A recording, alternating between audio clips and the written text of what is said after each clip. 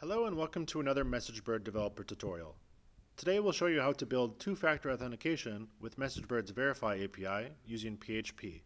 You can either walk through the tutorial with us here or get started now by downloading the sample application in the MessageBird Developers Portal using the link in the description.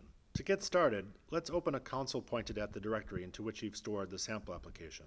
We can now run composer install to install the dependencies defined in the composer JSON file. The dependencies include the MessageBird SDK, which is used to access the Verify API, as well as the Slim framework, the Twig templating engine, and the .env configuration library. Let's head over to the index.php file. First, we need to enable Composer autoloading.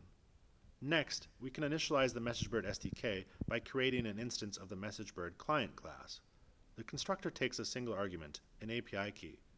For our Slim-based example, we add the SDK on the dependency injection container. We use getEnv to load the API key from an environment variable. To do this, we need to first initialize .env and then add the key to a .env file. The sample repository contains an env example file, which we'll first copy to an env and then enter the required information. You can create or retrieve your API key on the MessageBird dashboard. The first step in verifying a user's phone number is asking them to provide it. In View Step 1, we'll create a basic HTML form with a single input field and a button to submit the data using the post method to Step 2.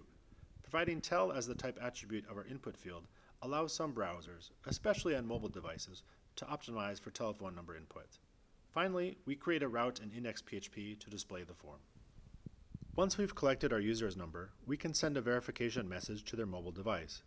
The MessageBird Verify API takes care of generating a random token, so we don't have to do this ourselves.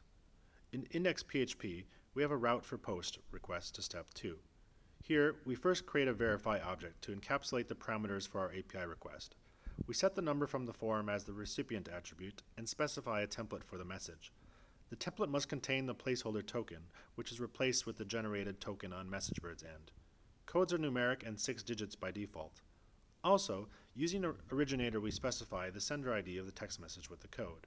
The value should either be a valid telephone number in international format or an alphanumeric string with at most 11 characters.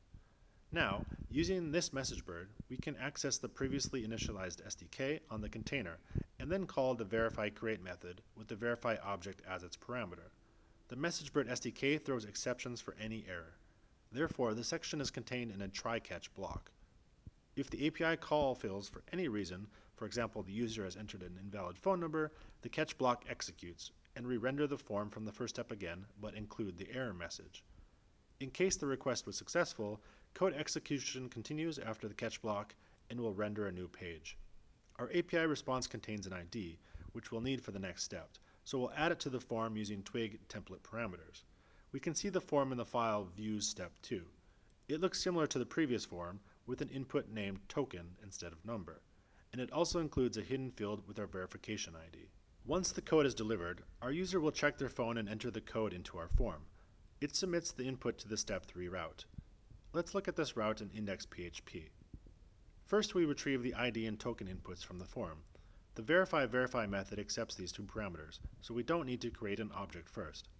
As before, there's a catch block to handle errors such as invalid token entered by the user.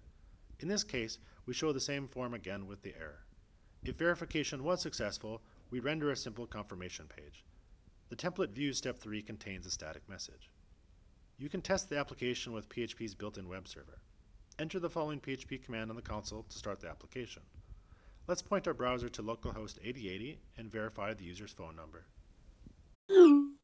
And that's it. Nice work. We've just built a two-factor authentication system using the MessageBird Verify API. That concludes our tutorial. For more guides on how to build communication solutions with our SMS, voice, and chat APIs, please visit the MessageBird YouTube channel and developer portal. Thanks for listening.